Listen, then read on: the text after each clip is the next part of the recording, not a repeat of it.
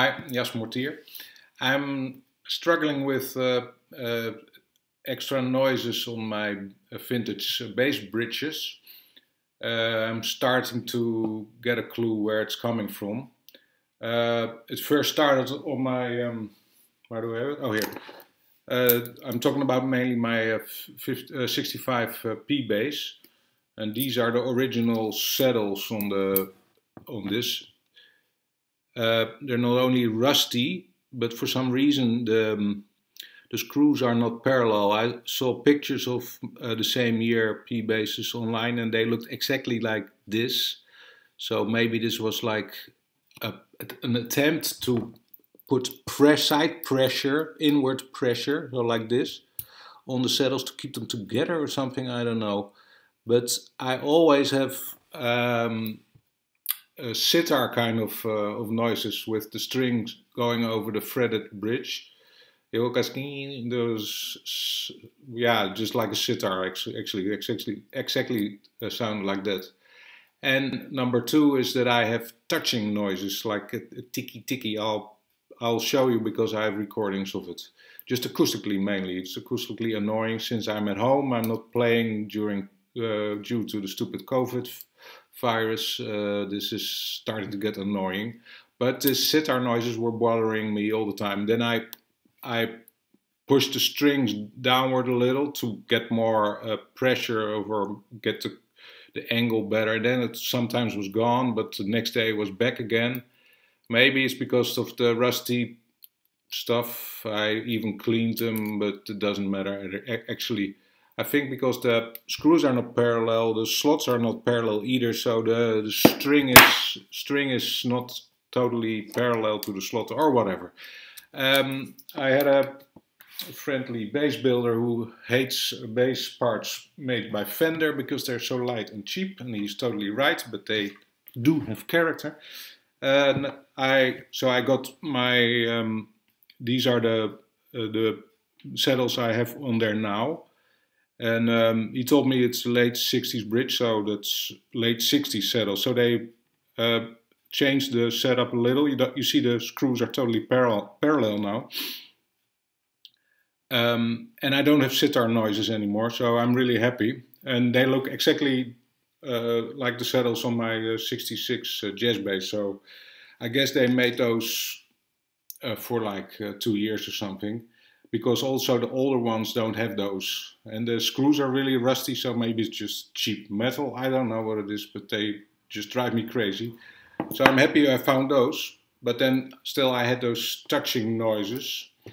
Um, uh, I experimented with uh, the Gotoh, I have to look, Gotoh 203B uh, nickel, by the way, and that's I installed it now on another bass.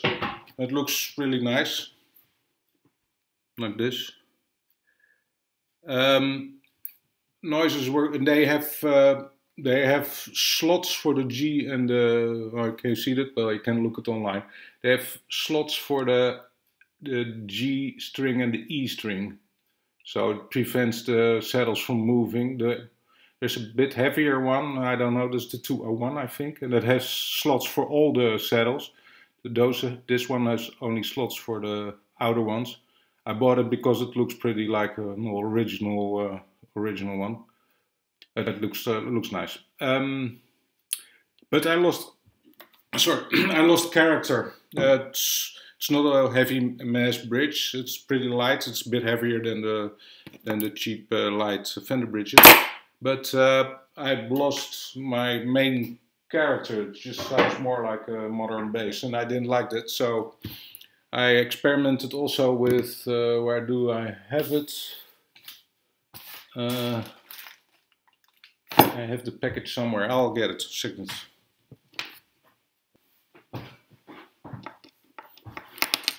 With uh, Allparts it's cheap, 18 bucks or something. Oh, uh, to the left. you see it? You need the Allen wrench to uh, adjust them. Uh, I tried those and I, I made a I made short clip so you can hear the any if there's any difference between the late 60s threaded model and the old part one. I don't have recordings of my bass with the with the Gotoh bridge, but you have to take my word for it. So the late 60s saddles are on here now.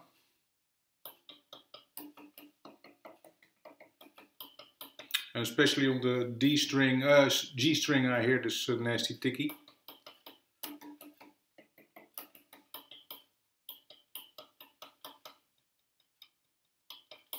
Yeah, it's this hollow, ticky sound.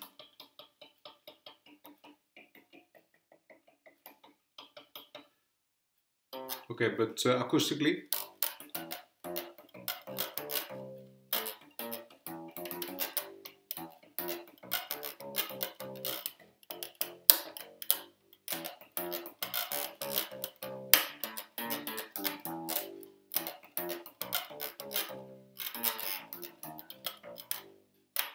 with the DI.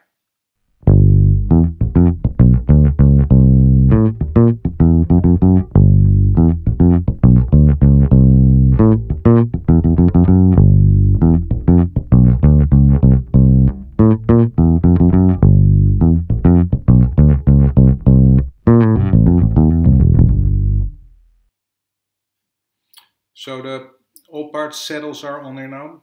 I'll first do it acoustically.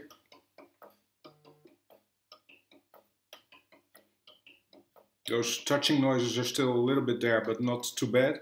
And it's pretty even over the strings, so that's okay.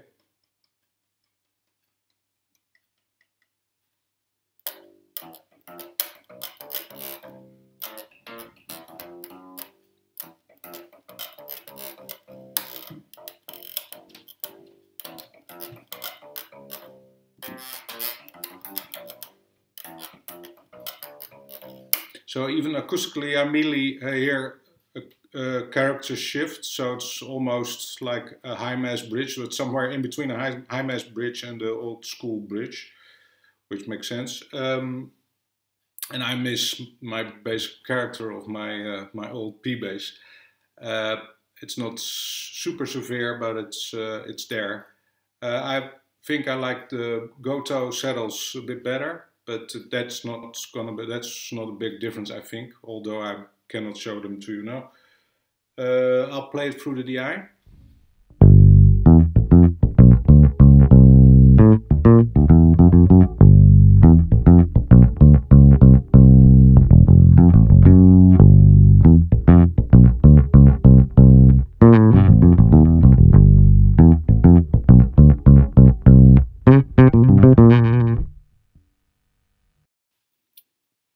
So with the newer saddles, the Allparts saddles and the Gotoh saddles, uh, I hear character change, and I I think that's to be expected. You got maybe a little more, more low end or sub lows and more high end and less mids.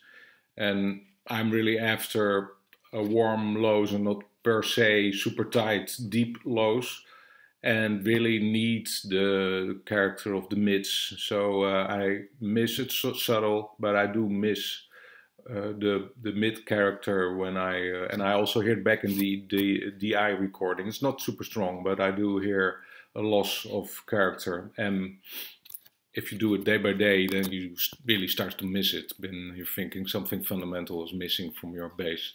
So I'm back to the uh, original uh, setup, at least with the 60s uh, saddles on there. So it's this ticky noises I'm talking about. Chick, chick. Tick, tick, tick. Sounds like almost a bassist microphonic, but idiot because nothing is connected. Especially D, D and G string.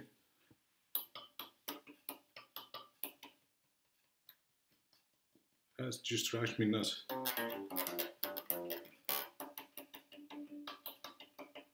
And I always add some body grease here. So, but this is with, with Allparts saddles, so that didn't work out with the more modern saddles. So I adjusted uh, something. I put uh, a G string two slots uh, to the outside, so the string pulls the the saddles towards each other a bit. So if you put the G string in the down direction, it, it pulls the saddle up. So they touch each other uh, more strongly. So there's now no gap between the D and G string saddle uh, and the sound's gone. So maybe it's just got to do with uh, tension on the saddles. Uh, so maybe that's the reason of the different frets. So you can uh, make the, the string spacing a bit wider, uh, resulting in a tension on the saddles in the inward direction. If you know what I mean. Uh, that's why I guess uh, Leo Fender invented the the bass bridge for the Stingray with the the pole the poles next to the saddles so that the saddles go nowhere or those new bridges that have slots in the in the in the in the uh, base of the in the base plate of the bridge so they are stuck. But then still maybe you just need tension so I think I, I did it with tie wraps on this bass before too. I reinvent rediscovering the stuff constantly. So you need tension uh, inward. So like you maybe you can even use a clam or something to put them together. Uh, but now the ticky noises are gone. Yeah, totally. Weird. So you get a bit more string spacing, but with tension on the saddles.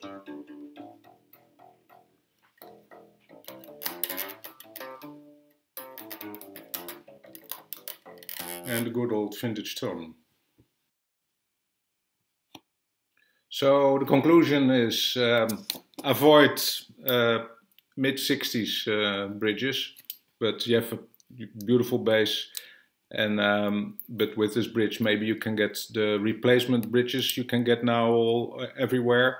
You even got nice, um, uh, nice relic ones that look really gorgeous, and hopefully they they sound the same.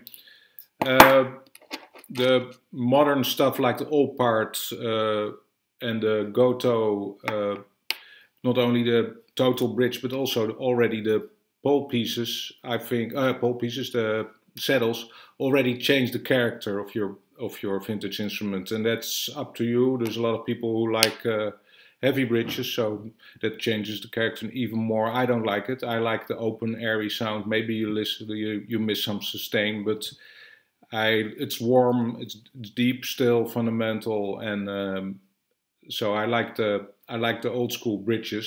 I don't like those. My uh, my uh, 665 bridge with the sitar noises. I can get rid of the touching noises by make sure you get side pressure. So make string spacing a bit wider. That's what I showed you. So you avoid the um, avoid the ticky noise if you ever have that problem. This maybe I'm the only one. Okay, so I'm back to my late 60s bridge and I'm uh, I'm happy I sorted it out. Ciao.